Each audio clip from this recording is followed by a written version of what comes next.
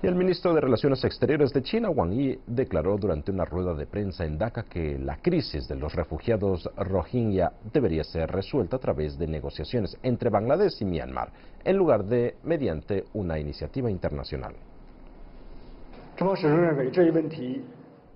China siempre ha mantenido que el asunto debería ser resuelto apropiadamente a través de cauces bilaterales. Solo se pueden aplicar y mantener acuerdos aceptados por ambas partes y con el apoyo de ambos países. La comunidad internacional, incluido el Consejo de Seguridad de la ONU, deberían proporcionar las condiciones y el ambiente adecuados para las negociaciones entre Bangladesh y Myanmar.